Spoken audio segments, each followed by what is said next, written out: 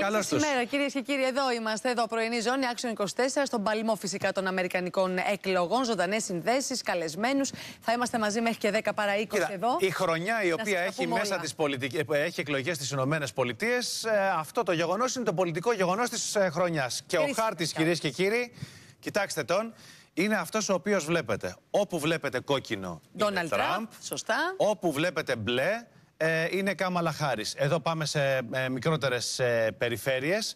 Όμως αυτή τη στιγμή η εικόνα που έχουμε είναι ότι με 270 ζητούμενους εκλέκτορες ο Τραμπ συγκεντρώνει 246, είναι η εκτίμηση, και η Κάμαλα Χάρης 189 και τους χωρίζει μία απόσταση ε, 4.744.000 ψηφοδελτίων.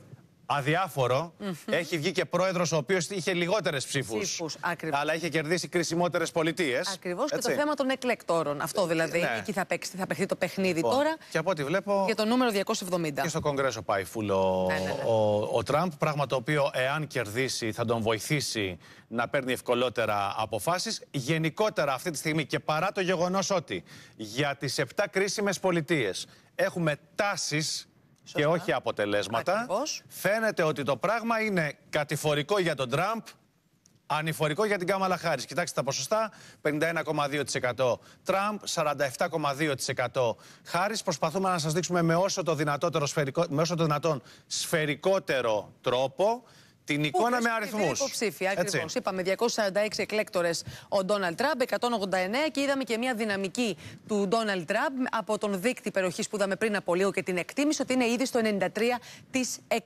Πάμε να πούμε καλημέρες έτσι για να αναλύσουμε και να προσεγγίσουμε τα νέα δεδομένα τα οποία έχουμε. Ο κύριος Δημήτρης Καραϊτίδης είναι κοντά μας, πρέσβης επιτιμή. Καλή σας ημέρα. Καλημέρα. σας. Ευχαριστούμε Καλημέρα που σας. είστε εδώ. Νίκος Νανούρης, ανταποκριτής του Action 24. Θα πούμε μια καλημέρα και στον Νίκο μας στην Κωνσταντινούπολη. Τον βλέπουμε εδώ. Νίκο, καλημέρα. Καλημέρα. Καλημέρα, καλημέρα. Και επίσης ο κύριος Γιάννης Βαλινάκης, καθηγητής Διεθνών Σχέσεων, πρώην υφυπουργός. Πρώην υπουργός. Έχουμε. Έχει πολλέ Καλημέρα. ιδιότητες. Καλημέρα και σε εσάς, κύριε Βαλινάκη. Λοιπόν, τώρα να ξεκινήσουμε από εσάς, κύριε Υπουργέ. Να έχουμε μία πρώτη εικόνα, κύριε Πρέσβη, μας επιτρέπετε. Παρακαλώ. Να έχουμε μία, ένα πρώτο σχόλιο για την εξέλιξη αυτής εδώ της ε, μάχης. Αν επιβεβαιωθούν τα, πρά- τα αποτελέσματα, έτσι όπως αυτή τη στιγμή φαίνονται, φαίνεται ότι η Αμερική στρίβει δεξιότερα, στρίβει συντηρητικότερα και λίγο προς την αρλουμπολογία, αλλά οι Αμερικανοί ψηφίζουν. Ναι, ε, προφανώς ε, τα αποτελέσματα φαίνεται ότι δεν μπορούν πλέον ε, να, οι τάσεις δεν μπορούν να ανατραπούν. Α, ε, μαθηματικά δεν ξέρω καν αν είναι θεωρητικά πιθανό. Ε, άρα πρέπει να αρχίσουμε να συζητάμε για μια επικράτηση του Τραμπ ε, όχι μόνο στις Ηνωμένες Πολιτείες, αλλά και μια ε, επικράτηση λόγω του ρόλου της Αμερικής ε, ή μια επιρροή καλύτερα ε, σε όλη την Ιφίλιο με πρώτη την Ευρώπη της οποίας είμαστε μέρος. Ε, θα έλεγα λοιπόν ότι οι επιπτώσεις της ε, εκλογής ε, Τραμπ μας ε, αφορούν κατά τρεις-τέσσερις τρόπους. Ο ένας τρόπος είναι ευθέως διμερός, οι ελληνοαμερικανικές σχέσεις. Ο άλλος είναι έμεσα ε, διμερής, ε, δηλαδή μέσω της Ευρωπαϊκής Ένωσης και το τι θα συμβεί με την Ευρωπαϊκή Άμυνα και βεβαίως ε, οι σχέσεις ε, Αμερικής-Τουρκίας ε, καθώς και θα έλεγα ε, συνολικότερα το θέμα των πολέμων, των δύο πολέμων που διεξάγονται κοντά σε εμά στην Ουκρανία και στη Μέση Ανατολή. Όλες αυτές οι διαστάσεις ε, νομίζω επηρεαζόμενες από τις θέσεις του Τραμπ ε, δίνουν ε, αλλού αν θέλετε μια ε, κατά τη γνώμη μου ε, δυνατότητα βελτίωσης ε, του κλίματος ε, Αμερικής-Ελλάδας και αλλού μια πιθανότητα να δυσκερανθούν οι εξελίξεις. Για να είμαι πιο σαφής, ε, στη Μέση Ανατολή η υποστήριξη που ο ε, Τραμπ θα δώσει στον Νετανιάχου σημαίνει συνέχιση ε, της ε, ε, έντασης ε, αλλά και την πιθανότητα να βρεθεί μια λύση, πάντως όχι εύκολη λύση των δύο κρατών, γιατί άλλα έχει στο μυαλό του ο Τραμπ. Ε, αυτό κατά τη γνώμη μου βοηθάει το ρόλο της Ελλάδας και της Κυπριακής Δημοκρατίας διότι στην Αμερική ειδικό στο- ειδικά τον τελευταίο καιρό θεωρήθηκε ότι συμβάλλουμε στο να έχει ένα στρατηγικό βάθος το Ισραήλ. Είναι- είμαστε η μόνη αρτηρία, η ασφαλής αρτηρία ενίσχυσης του Ισραήλ. Αυτό λοιπόν μετράει πάρα πολύ για τους Αμερικανούς ε, και τους τραμπιστές ειδικά. Άρα μας συμφέρει. Απ' την άλλη στην ε, Ουκρανία ε, τα πράγματα είναι πιο θολά. Ε, μάλλον θα έχουμε μια ε, λήξη του πολέμου διότι θα άρει το, ε, τεράστι, την τεράστια υποστήριξη που σήμερα παρήχε η Αμερική στην Ουκρανία με συνέπεια να υπάρξει ένα αποτέλεσμα και να δούμε ε, αν προς την εκεχηρία. Να δούμε αν με την ε, αυτό δεν είναι καλό. Καθηγητά δεν είναι καλό σε επίπεδο αρχών, γιατί μια ναι. χώρα που εισέβαλε σε μια άλλη ε, κερδίζει στο πεδίο το διπλωματικό. Απ' την άλλη θα λήξει ένας πόλεμος. Ε, πάμε στα ελληνοαμερικανικά. Ε, εκεί φαντάζομαι ότι θα ιδρώσουμε ε, για να ε, αναβαθμίσουμε τις σχέσεις μας διότι δεν αρκεί να λες ότι είσαι στρατηγικά σημαντικός πρέπει και στην πράξη οι Ηνωμένες Πολιτείες να στο αναγνωρίσουν στηρίζοντας τις απόψεις με την Τουρκία απ' την άλλη όμως μιλάνε κατευθείαν και είναι μια προσωποπαγής πολιτική που ακολουθεί ο Τραμπ. Κατευθείαν οι δύο πρόεδροι, Τραμπ και Ερντογάν, ξέρουμε ότι μέχρι και πριν από λίγες εβδομάδες, κατά την απόπειρα, μιλήσαν στο τηλέφωνο. Αυτό είναι αρνητικό για μας. Η πρόσβαση στην Ουάσιγκτον δεν φαντάζομαι ότι θα είναι πάρα πολύ εύκολη για την ελληνική πλευρά. Δεν ξέρω καν αν ο Πομπέο θα αναλάβει αυτά που λένε ότι θα αναλάβει.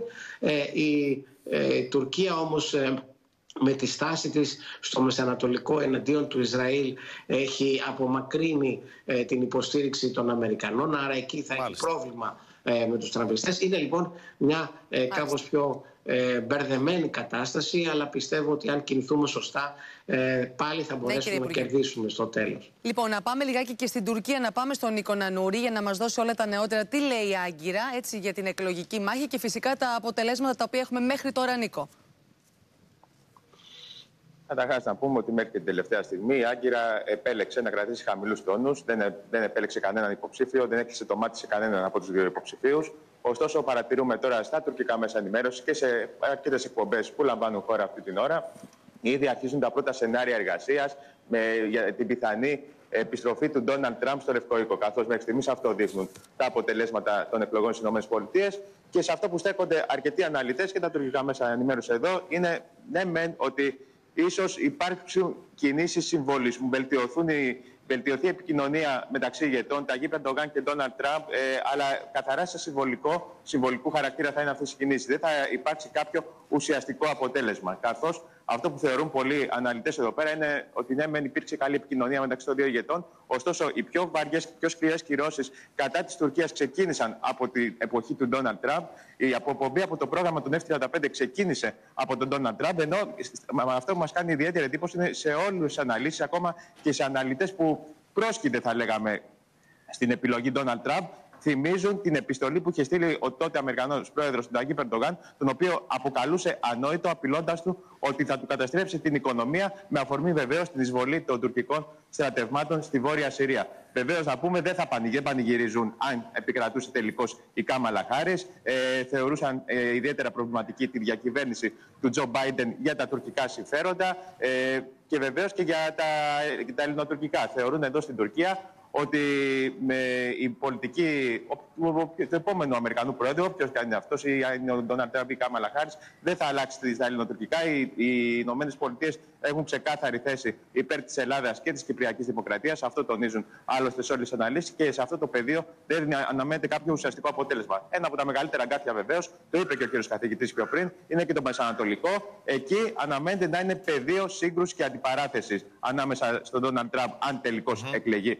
πρόεδρος των ΗΠΑ με τον Τάκη Περντογάν, καθώς ο τέος Αμερικανός πρόεδρος ε, στηρίζει ξεκάθαρα το Ισραήλ, χωρίς αστερίσκους θα λέγαμε, ενώ ο Τάκη Περντογάν από την 7η Οκτωβρίου του 2023, από τότε δηλαδή που είχαμε το τρομοκρατικό χτύπημα της Χαμάς στο Ισραήλ, ε, έχει πάρει ξεκάθαρη θέση υπέρ της Χαμάς, χαρακτηρίζοντάς την ως απελευθερωτικό κίνημα. Ωραία. Λοιπόν, τώρα ε, να πούμε ότι σύμφωνα με τα όσα το NBC παρουσιάζει αυτή τη στιγμή, με ένα νεότερο update του, ε, φαίνεται ότι οι Ρεπουμπλικανοί καθαρίζουν την ιστορία της Γερουσίας. Αυτό νομίζω το αφήνουμε στην άκρη. Mm Όπως και ότι ο Τραμπ ε, φαίνεται ότι έχει καθαρό κεφάλι στην ε, Καρολάιν. North Carolina το έχει ξεκαθαρίσει και αυτό. Είναι δεδομένο, είναι τελικό το αποτέλεσμα, έχει κλειδώσει. Κύριε Πρέσβη, όλα αυτά τώρα, εμάς μας ακουμπάνε από διάφορες πλευρές. Το είπε και ο κύριος Βαλινάκης. Σωστά ναι. και αναλυτικά. Εμείς τι θα θέλαμε ιδανικά. ιδανικά τι θα θέλαμε. Αν μπορεί κάποιος να προβλέψει πώς θα μπορούσε να πολιτευτεί ο Τραμπ. Η Ελλάδα είχε δημιουργήσει μια πολύ καλή σχέση με την ε, διοίκηση του πρόεδρου Biden. Ε, και είναι γνωστό, το έχει δηλώσει άρρωστα και η κυρία Χάρης, ότι ε, τυχόν εκλεγόμενη θα ακολουθούσε τις ίδιες γραμμές εξωτερικής πολιτικής. Επομένως, με την χάρη θα είχαμε ίσως μια ομαλότερη συνέχιση του καλού κλίματος που υπήρχε ήδη στις, Ελληνοαμερικα... στις ελληνοαμερικανικές σχέσεις. Με τον, με τον νέο πρόεδρο θα έχουμε μια νέα κατάσταση. Δεν ξέρουμε ακριβώς πώς θα διαμορφωθεί η κατάσταση αυτή για δύο λόγους. Πρώτον διότι ο, ο κύριος Τραμπ επανειλημμένος έχει ε, ανακοινώσει ότι θα ακολουθήσει νέες θέσεις στην εξωτερική πολιτική χωρίς πάντα να τις προσδιορίζει επακριβώς και δεύτερον διότι και ως προσωπικότητα είναι απρόβλεπτος και τελείως διαφορετικός από θύελα. Πολύ διαφορετικός από ό,τι ε, δεν, θα δεν θα σας έλεγα μόνο θύελα, θα σας έλεγα ε, θύελα πολλών κατευθύνσεων. Έτσι. Παρ' όλα αυτά όμως... Πότε μεγάλη... Άνεμη μεταβλητή. Άνεμη μεταβλητή. Κύριε Πρέσβη όμως, παρόλα αυτά είδαμε ότι ένας μεγάλο, ε, ε, ένα μεγάλο ποσοστό του κόσμου τον υποστηρίζει, τον στηρίζει και αν πούμε ότι εκείνος θα είναι ο νέος ε, πρόεδρος των ΗΠΑ και μάλιστα με ένα ποινικό το οποίο είναι αρκετά βαρύ. Δηλαδή, θέλω να πω ότι ο ίδιος έχει ε, καταδικαστεί και για σεξουαλικές επιθέσεις, ανοιχτές υποθέσεις, για ε, την διαρροή διαφόρων ε, εγγράφων.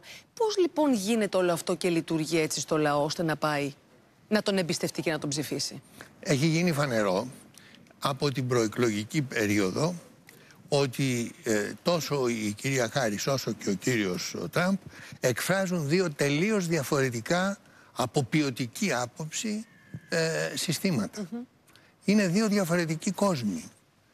Ο, ο, ο Τραμπ εκφράζει ε, μία Αμερική με αυτοπεποίθηση που, έχει, που θέλει να την αναβαθμίσει ακόμα περισσότερο από πλευράς ισχύως.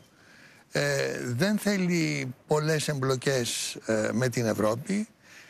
δεν θέλει πολλές δαπάνες της Αμερικής σε ό,τι αφορά το ΝΑΤΟ και εν πάση περιπτώσει και ως προσωπικότητα ε, επιθυμεί ε, λύσεις που συχνά έχουν έναν χαρακτήρα ομότητας. Mm-hmm. Ακριβώς το αντίθετο συμβαίνει με την κυρία Χάρης. Η κυρία Χάρης νομίζω ότι ε, εξέφραζε, εκφράζει τον τον αστικό ας πούμε χώρο της Αμερικανικής Πιο θεσμικό, πιο συστημικό, πιο, πιο συστημικό και πιο καλλιεργημένο. Πιο καλλιεργημένο. Ναι. Είναι πολύ σημαντικό. Ναι. Εδώ φαίνεται ότι οι καουμπόιδες, νίκησαν τους τεχνοκράτες. Ε, αυτό είναι φανερό. Μάλιστα. Άρα κύριε Υπουργέ, δεν είναι ούτε να κλαίμε σαν Ουκρανοί, συγγνώμη, ούτε να κλαίμε σαν Ουκρανοί, ούτε να χαιρόμαστε σαν Ισραηλινοί αυτή εδώ η μάχη. Λογικά θα χρειαστεί να δώσουμε διπλωματικές μάχες να πείσουμε και ενδεχομένως κάποιες μάχες να τις δώσουμε και από την αρχή. Ενώ τι είχαμε σε ένα καλύτερο επίπεδο με τους δημοκρατικούς. Ναι, θα έλεγα ότι θα πρέπει να ιδρώσουμε στην εξωτερική μας πολιτική ε, γιατί δεν είναι καθόλου δεδομένο ότι αυτό το καλό επίπεδο που υπήρχε τον τελευταίο καιρό, αν και εγώ προσωπικά θεωρώ ότι ήταν κατώτερο των ε, δυνατοτήτων μας το επίπεδο αυτό, ε, ότι αυτό το επίπεδο έστω θα το κρατήσουμε και επί Τραμπ. Ε, είναι ένας ε, άνθρωπος απρόβλεπτος, προς, ως προσωπικότητα. Ε, δεν ξέρουμε ποιοι θα τον περιστοιχίζουν. Ακούγονται και κάποιοι άνθρωποι οι οποίοι ήταν παλιότερα στο payroll της Τουρκίας, όπως ο Φλίν. Ε, άρα ε, δεν ξέρουμε και αν θα είναι καν του κατεστημένου, γιατί πάλι ακούγεται ότι θα είναι άνθρωποι ε, εντελώς δικοί του.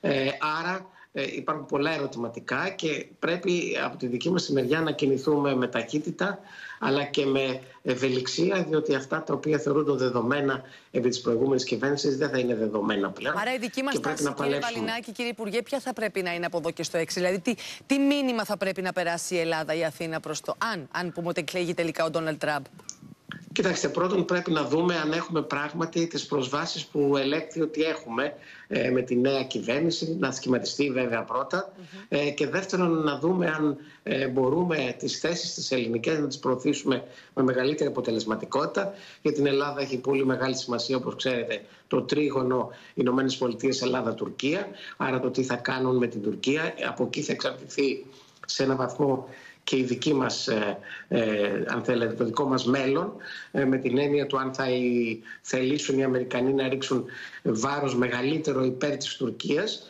ε, όπως είχαν κάνει στο παρελθόν.